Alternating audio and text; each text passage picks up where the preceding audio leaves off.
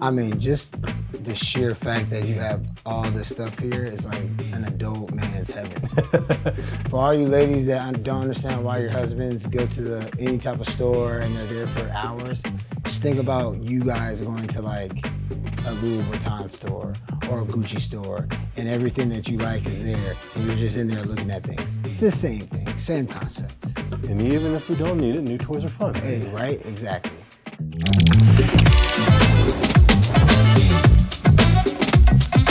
Hey guys, we're here with Brice Butler today, talking fairways and hybrids. We're gonna go through a fitting, find what's best for him. Ready to rock? Let's go, baby. All right, let's do it. Let's do it. You want to go higher, lower, fight the fade? What you know? What are we trying to do? Just get something that I can rely on, right? Okay. Um, if I can, if I can believe and trust, like I got a 245 yard shot into a par five or whatever. Do I believe that this hybrid will make it there? So if nothing else, then uh, Brice, let's just have you hit that, get a general idea of how that guy performs.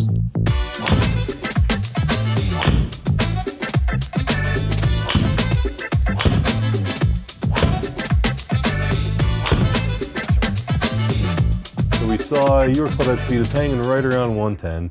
So getting you into an extra stiff is totally cool. As you get more comfortable with it, you get loose. You're only going to swing faster anyway. Right. So I think uh, that's perfect for you. We see your average launch was right around 14. Uh, you can notice here for your speed, that's awesome. Right at 14 is exactly where we want you to be. And then your backspin is just shy of 2,000. It puts you on the lower end of optimal, still in the green. And honestly, if you're going to air, slightly on the lower sides, the better of the two. Okay. Especially considering you told me if anything, you hit a little bit of a fade, uh, because ultimately what that creates for you is then a descent angle of about 37. So that's the angle it lands when it hits the ground. Okay. Uh, so honestly, like if we were doing a driver fitting today, I'd give you that and, And say, send go- you send go you on your way. Yeah, we're in a good spot. uh, so we're going to probably look for a descent angle that's at least getting close to 40, if not even into the 40s. That'd be awesome. So uh, that descent angle is going to be a really important number for us. We're going to be fitting for really two things: the di- the distance carry ideally, Yep. and then that descent angle. And really trying to find that combination that gets us close to again probably about a 270-ish carry. I think it'd be great, 275 maybe. Okay. Um, while still having a descent angle close to 40. 40, And it'll be a okay. kind of, and then we'll use the rest of these numbers to kind of help uh, change those out. Okay. Sound good? Perfect. Yep. Sounds good. All right, so let's uh, we'll get get our it. first one in the mix, and we'll roll into uh, a Callaway model just to kind of keep it consistent. It'll be just the newer version of the Rogue that you have now. Sounds good to me. All right. All right, so we'll go uh, Paradigm Triple Diamond. Uh, we got the 15 head. We put it in the draw. We're gonna put it in the draw plus one. plus one. So we'll bring it up to 16 degrees, Okay. and then we're gonna go with the HZRDUS Black Gen 4. Uh, be a similar Project X version to the TR that you have now that you're just tested there. I'd rather you hit a couple shots, We good, see- bad, indifferent. Yeah. We'll look at the numbers, and then we can we can always come back and do it again. All right.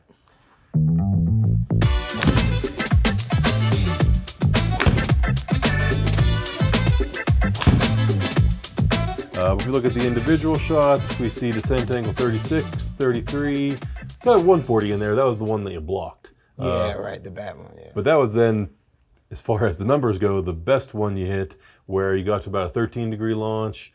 Backspin was almost 3,000. We can see some of these other ones. Just launch angle super low. Um, which again, when you're hitting a very low lofted club off the deck, it's to be expected. But the general design of the triple diamond is going to be low spin, lower launching. And if height is what we're trying to do, it's probably not what we want. Yeah. This ain't it. And we kind of, I mean, honestly, probably knew that going into it just because it's something you're familiar with. We wanted to give it a shot. So what I want to do next, we keep the same shaft, at least for consistency's sake. We're going to go in just to the regular paradigm in the, the 3HL, basically a four wood, Uh, and it's 16 and a half to start with. I think I'm even going to make it 17 and a half. We can always dial it back if we need to. Okay. Especially because the next club you're going to carry is probably going to be somewhere around like 20 degrees. Okay. Uh, be maybe even like 21. Okay. So we just kind of want to figure out that loft gap. Right. Uh, this one you can obviously tell is a little bit more open. Okay.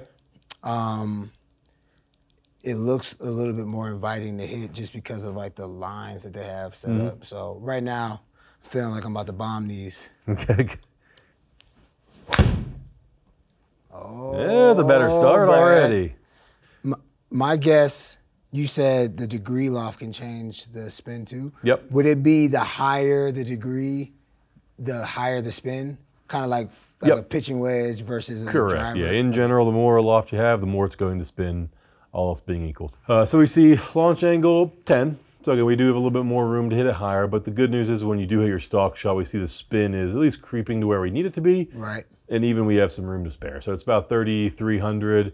We can get all the way up to like 4,000 and still call it good. Yep. Uh, because now we're starting to sneak into that 40 degree descent angle range to where it's going to hit and hold. Yep. Again, we still like to see the carry distance be a little bit greater, but we're at least seeing a general range of what kind of launch conditions uh, start checking some of those boxes for us. Yep. Uh, just relative to the triple diamond, give me your thoughts on that one. I know you Oh, I mean, I loved more it. so when you hit it. Like it didn't like I didn't have to do a lot to get it up. I know the launch angles were a little low, but it still was getting up in the air. Yep. Um, and that's exactly what I need because I don't want to fly greens and you know, or, or I hit it short and it runs by Yeah. the green. I don't want that no more. Or lands on the green, keeps going. Yeah, right. I don't want that no more, The triple so- diamond's an awesome club as well too. It's just designed for a high spin player. And Yes. again, you're uh, not that you're you have high your high speed, speed, uh, but your spin's uh, totally under control. So Right. I don't think we need to go that route. If anything, we could add a little more. okay. So let's uh, let's change it up though. We're gonna go entirely different brand. Me grab Okay. that one from you. Yep. Ping. Yep. So we're gonna go Ping G430 Max. Okay. We're gonna set it uh, to 16 and a half degrees. Same story. Make it like a uh, make it like a forward. Yep. So uh, one thing, uh, a couple cool things about the Ping. One, I like just the general shaping they do uh, in the profile of the face. They make their fairways and hybrids too, but fairways especially. It's a really shallow face, Okay. so especially whenever you're hitting it off the ground. Uh, it makes it much easier to get the CG or the sweet spot of the fairway wood uh, below the CG of the ball, which helps us to hit it a little bit higher. Right. So traditionally, they're pretty easy to get up in the air. Uh, and then they've added some composite to the woods this year. Uh, they've changed the curvature of the face a little bit as well too to make them a little more forgiving on low strikes as well too. So it's really an awesome club uh, off the deck in particular. And then we paired it up with our uh, our Ventus 8X blue. All right.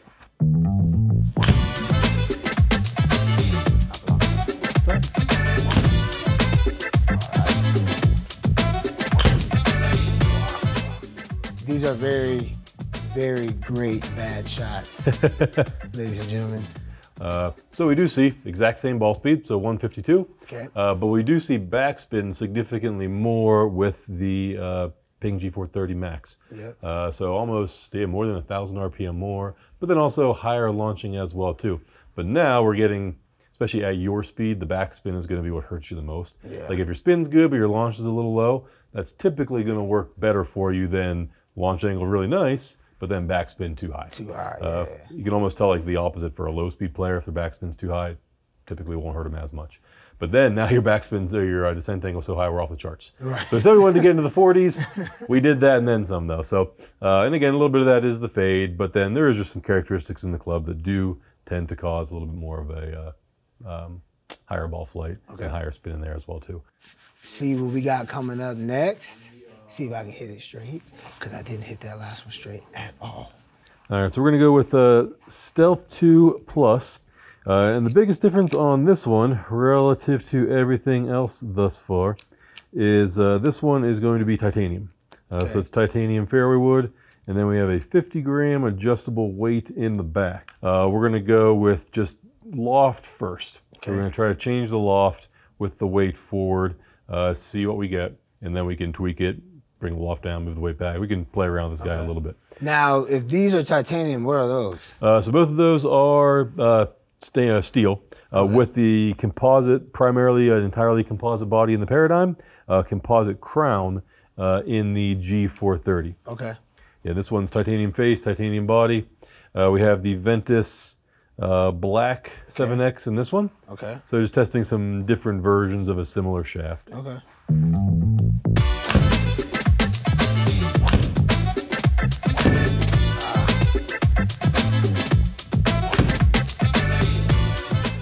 Same thing though, so 260 in the air. So that's probably the closest we've got to the kind of carry that we're looking for. Descent angle was 42. Okay, so that last shot, just looking at this guy down here, it was about 260 carry, and we did get the descent angle at 42, launch 12, backspin uh, 3000. Yep. So it's probably the closest we got. Uh, it's, you know, just a single shot To to kind of where we're trying to get exactly. Uh, so Felt good too. I liked it. I liked the way it felt off the face. All right, so now we uh, kept the adapter in the same, basically have it in a forward setting with the face slightly closed. We're moving the 50 gram weight all the way to the back, so it'd be the highest launching, highest spinning, and then went to a, just a slightly higher launching profile shaft. Okay. It's real light too.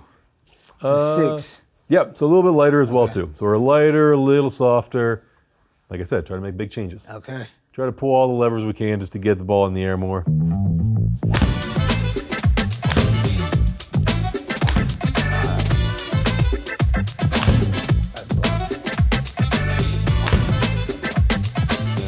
Do a quick recap. We know you had some good pings in there, but this didn't happen often enough. Right. So let's go kind of ball speed across the board. Uh, this is again throwing out some of the poor ones. 150 average Callaway, 146 ping, uh, and then TaylorMade 152, and you had your best ball speed with the TaylorMade at 156. Yep. So definitely the fastest. Uh, descent angle was 42 uh, with the TaylorMade, 38 ping, and 44 uh, with the the Callaway. That was also with the one he off the tee that was really high. So that is that is distorting that a little bit. Um, as far as numbers go, it's definitely Callaway or TaylorMade. Uh, I think performance-wise, honestly, I like the TaylorMade just a little bit better. I think uh, the numbers are landing a little more vertical with more speed, so you can get that combination of getting the distance we want. I like the TaylorMade too. Okay. Yeah. TaylorMade was solid, even though it seemed like on average I couldn't hit the ball solid at all. But we'll figure. I like it though. can see what that miss hit is. Get a little Yeah, bit of uh, a little bit of the top of the golf ball, but Yeah. I mean that's that's going to be everybody's miss when it comes to a fairway. All right, so now next up we're going to talk uh, hybrid. Well, let me put a couple together and uh, hit them. Right, well, actually, here's where we're going to start. So first one we'll test out then will be uh, the I crossover from Ping. We have it in the three, uh, just in the upright standard loft, the 20 degree loft, 85x in their Tour Chrome shaft.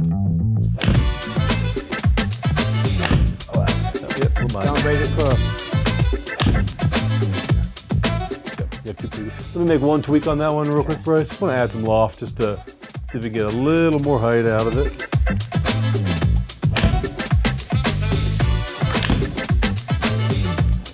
All right, next one up, we're to go uh, Mizuno. So Mizuno's new STZ line. Uh, we're going to go with 75 gram uh, LIN-Q. That's a LIN-Q. Yep, LIN-Q blue.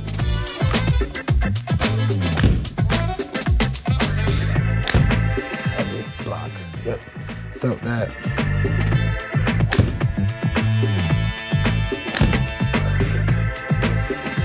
All right, we're gonna throw a Callaway back in the mix. So we're gonna go with Paradigm.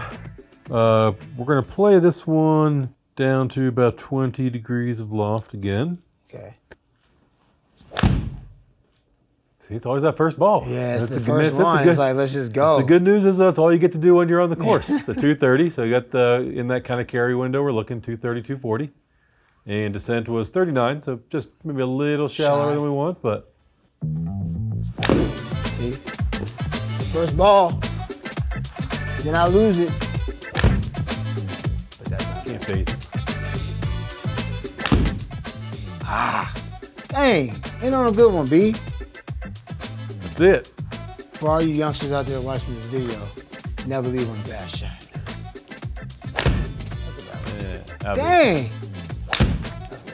All right, whatever. I lied about what I said a second ago. Uh, to me, there's kind of two definitive standouts when it came to the hybrids. Uh, one was the TSR two that we hit there at the end, and then I think the other was the the Callaway Paradigm. Uh, we can do a little bit heavier in the shaft there too, if that is what you like. Okay. Uh, so grab those two guys. Yep. I mean, you can see when you put them down, they do have a similar footprint. They were the two that were the deepest front to back. Yes. Uh, and as far as numbers go, uh, we do see though, I think the numbers did stand out slightly more when it came to the Titleist. We have slightly better distance. Uh, we covered the distance variable better with the TSR2. Okay. We covered the descent area uh, variable a little bit better with the Paradigm. So there's just a little bit of kind of prioritizing. Do you want to make sure you get the 240 carry, and it might roll out a little bit more versus you get a little more of like a 230, 235 carry It drops. but it's landing a little more vertical. Correct. And we're talking 40 degrees versus 38. Right, right, so right, right. honestly, like when you're out there playing, it might do the exact same thing when it lands on the green. Yeah. But we do have slight differences in distances, uh, and then obviously when you put it down, how you hit it, that all matters as well. All right. All right, Well, this is how we make the deciding factor. We're gonna hit one apiece. One, One apiece. Final- final the showdown? big challenge. all right. Which one makes it home with B? It's always uh, first shots. To, I know. So we're gonna take both first shots, or we're not gonna take a first shot. sudden death. Let's go. All right, Callaway Paradigm uh, is first up. Yep. Okay. Not bad, Nice but a little pulley, but not Yeah, bad. but it's got the high ball flow like we've been saying. So, it's not Okay. bad. And then we're here, right? yep, uh, TSR2. Yep. Correct. We're gonna get the distance piece, but a little bit uh, lower. Know which one I like, but you tell me. I like this one. Okay, that's what I think Yeah, too. I I, think, I think that one's uh, I much. like this one, that one's yeah. much more just your ball flight as well too. Yeah. Uh, and again, there is some adjustability in there as well too. If you did need to bring it up, bring it down, whatever Right. the case is. So I do think, based off what you said earlier, kind of covering the numbers seems to be slightly more important Yeah. uh, than the height piece as well too. So, all right, Oh yeah. still works. Yeah, it still works. All right, good. We have to start all over. That was perfect. I think we are all set then, Brice. Any questions for me? Nah, man, uh, this was fantastic. I appreciate you Absolutely. sending me through, uh, tolerating all my bad right misses. I don't know. We could have made this really quick instead of get one ball with every club. That's pretty much the first shot every time. We, Yeah. knew, we knew what we were getting. Yeah, but no, it was great. I mean, Good. it was interesting just knowing I've basically been hitting Callaway for a long time. Yeah. Um, and then just see, obviously, being able to hit different clubs, different styles, um, branching out a little bit. If I was Yep. an extrovert when it came to being, you know, one kind of brand, now saying that I like a three wood that's a TaylorMade, and I have a hybrid that's going to be a Titleist, which is cool. So Yep. I appreciate it, man. Yeah, absolutely. They all make good stuff. Find the Yes, one for you. But I appreciate you making the trip. Glad Yes, you sir. enjoyed it. GOLFTEC, baby.